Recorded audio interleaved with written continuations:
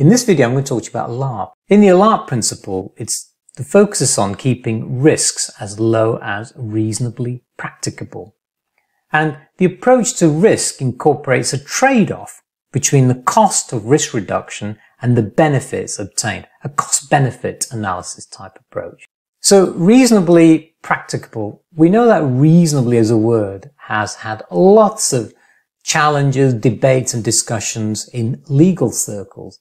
And it could be considered as implying basically the degree of acceptable risk in an activity or environment balanced against the time, trouble, cost and physical difficulty of taking measures to avoid the risk.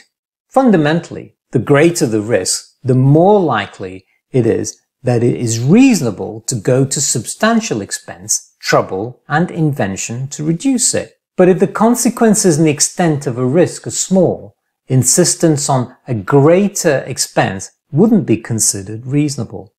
You can see just in those short few words and slides how the word reasonable can create a whole host of thoughts and debates, especially in legal jargon. You'll recall that in the risk equation, it's a product of consequences and likelihood.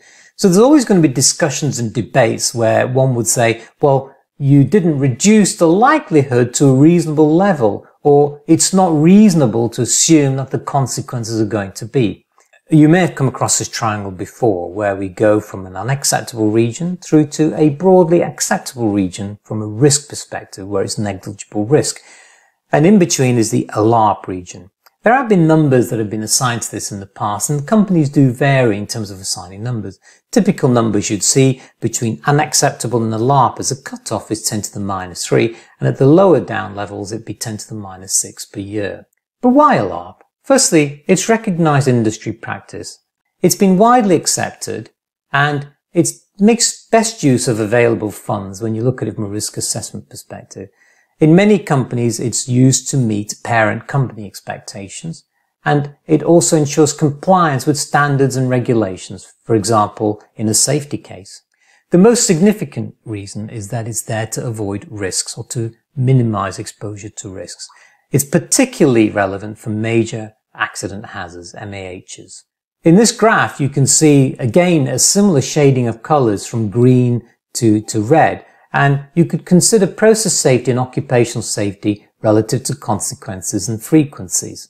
This graphic shows what we want to try and avoid. You can see from 1974 to 2010, and I know there's been others since then, there's been a range of catastrophic events.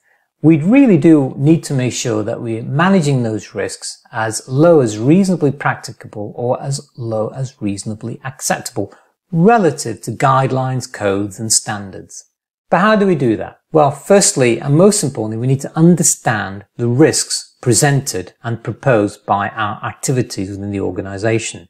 To understand those risks requires a systematic consideration of the hazards that are presented by the right team looking at it from a mix of discipline perspectives.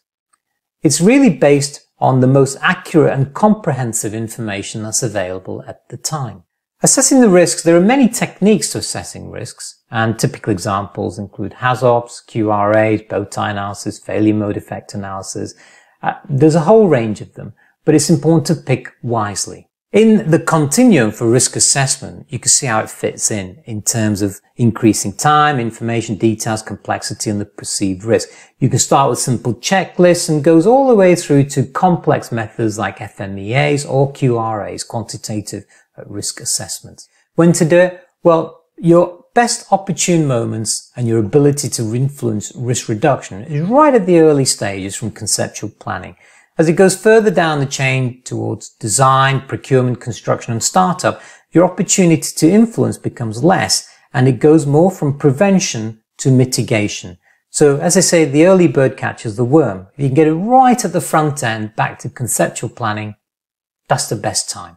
So to conclude, risk management is a business critical activity and a function.